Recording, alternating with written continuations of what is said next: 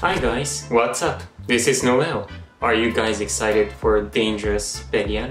Here I have Perfect Belial and today we're going to look at Dangerous Belial and what we know so far.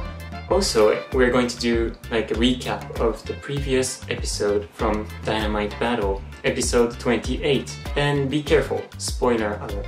Let's get right into it. Alright, so Dangerous Belial.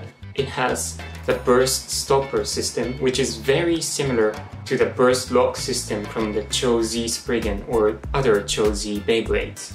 Speaking of burst lock, there's also the infinite lock system from Genesis and Apocalypse. We've also had like the burst stopper system from World Spriggan, which I found was great, that worked pretty well. But for Dangerous Belial, I think we just have to wait and see how that's going to work out. It says we have to shoot Belial with a certain amount of power to activate the burst lock system. But I don't think that's a problem because the set also includes the full custom Beyblade launcher. And with a power gear, it would be very easy to activate the system. And by looking at Dynamite Belial, the perfect form of Belial, we see there are four gears the L gear, S gear, V gear, and F gear. All of these gears can be attached to Dangerous Belial, and hopefully it's going to be really, really heavy. And what I'm really looking forward to is the driver, the All Might driver. Um, Hero Academia? No. So this is another cool driver, which kind of reminds me of the Ultimate Reboot driver, or the Generate driver from Gepolos. So it seems like a really cool driver which has a good balance of attack and stamina. And I think it would depend which arena or stadium we're going to use.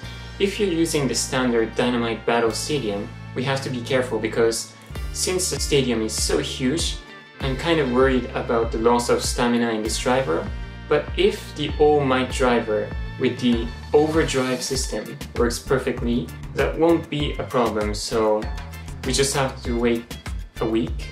I'm planning to get the new set on the official release date. I live in Tokyo, so please, if you haven't subscribed, please subscribe and wait for it. I'm going to post a review unboxing battle video. And since we've been looking at Dangerous Belial, let's talk about the anime series, the previous episode. If you haven't seen it, be careful because this is going to include some spoilers.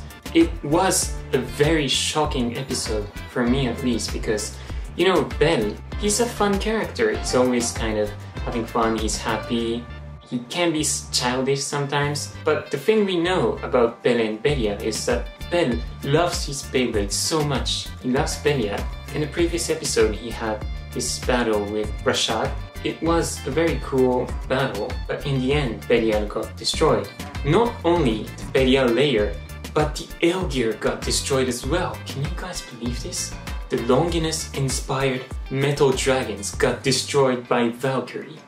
And you know, this this happened when you're watching Beyblade, but I, to be honest, I didn't want Savior Valkyrie to destroy a Beyblade. Come on, like the protagonist Beyblade of Valt Aoi. Even if it's not blue, even if it's Rashad who's using it, come on, it's Savior Valkyrie. It's supposed to be a savior, not like a destroyer. So, you know, when Bel cried, when Belial got destroyed, I almost cried too.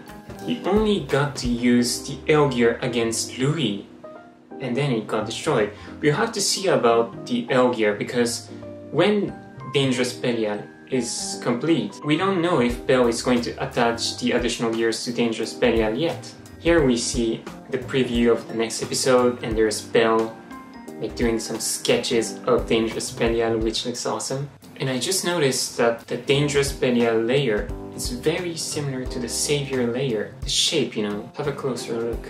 And the thing we need to discuss is that did Rashad destroy Bel's Beyblade on purpose? Rashad is a very complicated character. He seeks justice. He kind of feels like jealous of Bel sometimes, I think. He doesn't like Bel's fighting style much. And in this episode, we certainly saw Rashad's anger within him. So he was struggling, and then I looked back at the episode, and there was this curious thing that he said. Um, it was when Rashad used the shot driver to make Valkyrie like jump up and then dive into Belial. That's when Bel says that attack doesn't do anything to Belial and Rashad says, are you sure? It certainly did something. And we could consider this whether if it's a foreshadowing of the destruction of Belial and the L gear. If it is, it means he did it on purpose. But, you know, I still have some faith in him. He's called Rashad Goodman. Let's hope he will be a good man. For now, he's kind of seeking justice in his own crazy way. We'll have to wait for the new Phoenix to come. Or I think we need to call Shu Kurenai, aka Red Eye, because he's like the master of, you know, dealing with these rogue bladers. And I just have one more thing to say. What's this thing on his shoulder? I mean, uh, I'm okay with it. We all have different tastes in outfit, but he suddenly changed his outfit. Although I think that the new outfit of Basara is very cool. And they were having this competition, and Rashad won, and Idi was actually number 3. I'm wondering when we're going to get to see Magma Ifrit, because it looks like a very nice Beyblade. If you guys have any information regarding Magma Ifrit, please let me know in the comments below. This is pretty much what I wanted to talk about today. I hope you guys enjoyed, and see you in the next video. Bye!